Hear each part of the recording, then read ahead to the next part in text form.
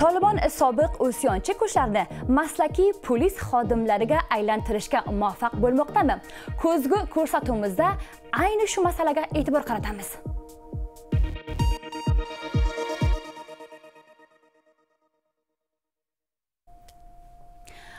Tolibon e, qudratga kelishi bilan shahar hayotiga o'rganmagan tolibonning politsiya kuchlari faoliyati ko'payganiga tanqidlarga uchrab kelgandi. Ayrim e, joriy hukumatni amniyatni ta'minlashga qodir bo'lmaganini ta'kidlasa ko'pchilik jumladan xalqaro tashkilotlar tolibon kuchlarini inson haqlarini buzish va noqonuniy xatti harakatlarda ayblamoqda. Ayniqsa ularning ayollarga qarshi munosabatlari qabul qilinmas deya aytib kelingan. Xo'p shaharga chiqqan ayollar qanday tajribaga ega? O'zimni interesar o'g'lim ham bor edi bir bozorga chiqib edik bizlarni bir kabarbandga barobar keldilar. Bizlar bexabar edik mo'taribon bilan avlodimni ko'plar aziyat qilib ko'plar qiynab bularni e, nimaga a'zoga olib ketmoqchi bo'ldilar. Imorati nimalari. Sonra bizlar ko'plar bilmaydik xabarimiz yo'q edi. Bizlarni ko'palar qiynab azob berib qiynayverdilar xabarimiz yo'q edi. Bir qaradikki bizlarni moksga bitishgan ekan o'sha moksga mana shunday qilar ekanlar. Bizlarni pishorimiz bor. Havo ko'p issiqdi bizlarni xabarimiz yo'q ediki bizlarni buncha qiynab nima qilar ekanlar. Hani ko'plari ana shu ku dashtdan kelgandilar bilmaydilar dard qilmaydilarki nima mushkullari bo'ldi. Bunaqa ham siyosatlarni mushkuli ko'proq bo'ladi. Bir issiqlik qiladi yo bir pishor bo'ladi yo nafas tangimiz bo'ldi. Bizlarni shundoq ko'plab qiynab jazo berdilar o'g'limizni olib ketib berdilar nimaga? Mo'taribon bilan sonra bizlar ko'plar jigizori qilib qo'ylardan ayirib oldik tolibon hukumati esa o'z polis kuchlarini shahar hayotiga moslashtirish uchun turli chora va tadbirlarni yo'lga qo'yganini ta'kidlaydi. Ular me'yorlar asosida mashqlardan o'tgan polis kuchlarining amniyatni ta'minlash uchun turli hududlarda joylashtirganini aytmoqda. Xo'p aholi bu kuchlar faoliyati haqida nima deydi? Odam e, dark va hamchinon tafovut berolmaydiki bular e, nizomimi yo boshqa odamlarmi? Va hamchinon e, bularni odrasidan qancha suiistifodalar bo'ldiki? Nazm disiplin e, ko'proq murad bo'lmaydi va hamchinon sochlaru o'sha liboslar e, bu jihatdan tafovut berolmaydiki. Bular voqean sarbozoy davlat edimi yo boshqa odamlar edi? Shu asosga oldindan hozircha ko'p tag'irotlar kelgan. Bular bir silsila omuzishlarni ko'rgan. Bizlar chek pointlarga ro'baro bo'lganmiz va hamchinon Э, kamarmandlarga ro'baru bo'lganmiz. Bularni barxurdi o'sha э, so'rashi hamchinon э, chek qilmog'i nisbat va guzashtalar hozircha bir silsila tag'irotlar kelgan. Bizlarni xoslarimiz shunday bir e, meniki emas hamma mardimniki shudaki mardimni e, xostasini pura qilsin. Shu har narsaga mardim aytadi o'sha anjom bo'lsin. Bir mardimniki emas. Imoratnikini ham xostasi anjom bo'lsin nima bizlar qonunni qonunni payravi qilamiz ammo qonun ham sadoqat bo'lsin demak tolibon mamlakatda qonun va tartib o'rnatish haqidagi va'dalarni bajarishga tayyor ekanligini ta'kidlaydi. Ammo bu juda og'ir o'tish davri bo'lib tanqidlarga duch kelmoqda. Ya'ni kiyimlar turfa xilligi va tayyorlanishning yo'qligi ko'plarni jinoiy faoliyatga jalb qilib vaziyatdan suiiste'mol qilishga undaydi. Bbc xabarnigori yamo borizning guzorishi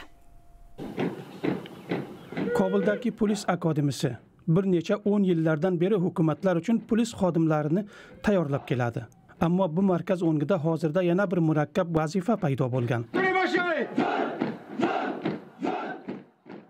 Sobiq isyonchilarni maslakiy polis xodimlariga aylantirish.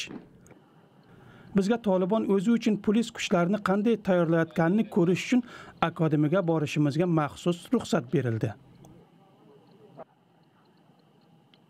په تیر کې د طالبانو پوځي روزنځل avvallari toliblarning mashq markazlari asosan isyonchilik urushi uchun askarlar tayyorlash maqsadiga ega edi ammo hozirda ular qudratda ekan polis kabi tartib va nizomni saqlash tashkilotlarini shakllantirishga e'tibor berishmoqda ډلې او د دولت ترمنځ د توپیرونو bu yerda o'qiyotganlar asosan yo tekshiruvdan o'tgan sobiq tolibon jangarilari yoki 12 sinfni bitirgan yoshlar ular akademiyada o'qishlari uchun qat'iy kafil beruvchiga ega bo'lishlari lozim.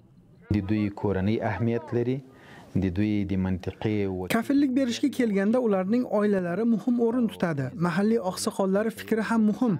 Yoki hukumat tarkibida ularni biladigan bir ikki odam bo'lsa ularning kafolati ham osonlik bilan qabul qilinadi. Polis akademiyasi talabalari kalashnikovlardan foydalanishga qaytishmoqda. Amerikaliklar kalashnikovni m 16 va m 4 quroliga alishtirishgandi. Ammo kalashnikov tolibon askarlari keng foydalangan qurol bo'lgani uchun polis kuchlari hozirda unga qaytishmoqda. Afg'onistonda uzoq davom etgan urushlar sababli quroldan foydalanishni o'rganish ko'plar uchun qiyin emas. Ammo hozirda toliblar aholi qalbi va shuuriga yaqin bo'lgan polis kuchlarini yaratishni istaydi. Mashqlarda namoyishchilarni nazorat qilish oson bo'lib ko'rinishi mumkin. Ammo yaqinda badaxshon va jalolobod kabi yirik shaharlarda bo'lib o'tgan noroziliklar shuni namoyon qildiki ko'pda insonlarning qurbon bo'lishiga olib keluvchi kaltaklash va o'q ochish polis uchun hanuz keng qo'llanadigan amaldir. Akademiyada o'qitiladigan asosiy g'oya avvalgi hukumatlar davridan qolgan va yuqori malakaga ega polis asosi maqsad ekanligi aytiladi. Islomiy amirlik qoidalariga binoan akademiyaga har yili tanlov asosida qabul o'tkaziladi. Bu jarayon yaxshi boshqarilishi lozim va biz buning ustida qattiq ishlayapmiz.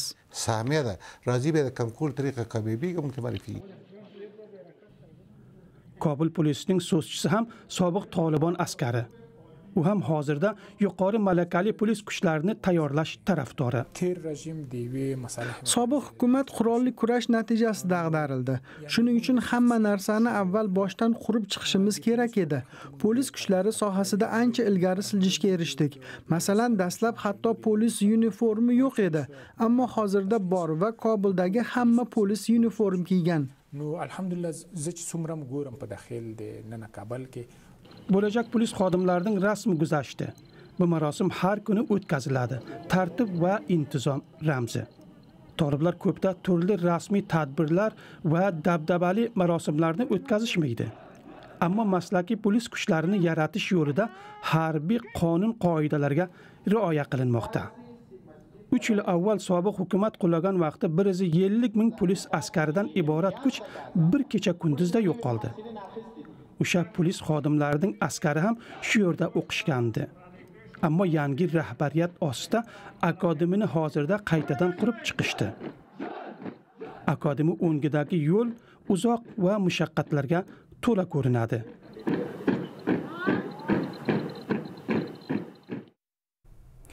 Bbc xabarnigori yamo boruzning guzarishi edi butun afg'oniston bo'ylab zo'ravonlik kamaygani kuzatiladi.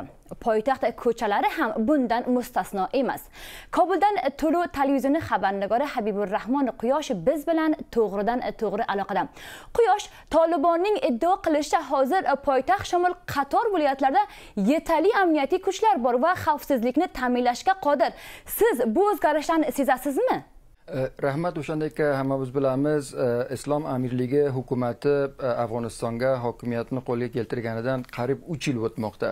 Bu uch yil mobaynida ancha o'zgarishlar o'rtaga kelgan. O'shandek ko'ramiz ichki ishlar vazirligiga tegishli polis kuchlari maxsus kiyimga ega bo'lgan ya'ni har bir organi maxsus kuchlar oddiy polis qamoqxonadagi polislar shoh yo'llaridagi polislari o'zlariga ayrim ayrim ya'ni kiyimlari bo'lgan.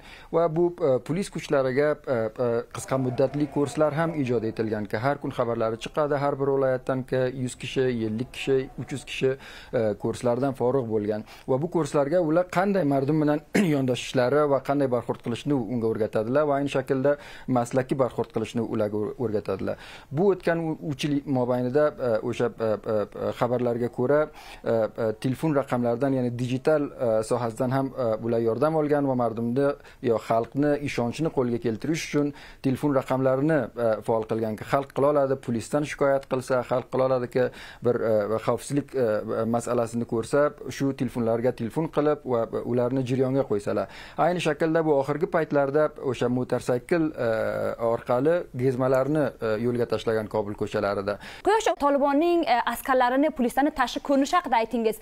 Ularni robotalarida masalan ayniqsa aytib kelinganki tolibon askarlari kuchlari e, ayollarga qarshi qo'pol e, muomalada bo'lgan. Ularning bu munosabatlardan o'zgarishni sezsa bo'ladimi?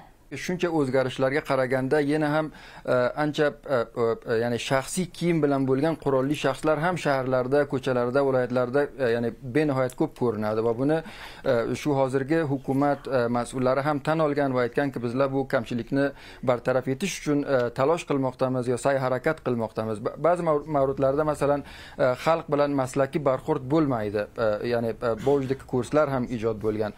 Masalan to'rt yo'lliklarga gezmalar bo'lgan va gezmalarda moshinani yo motorni to'xtatadilar so'raydilar nima uchun sen qo'shiq eshitasan?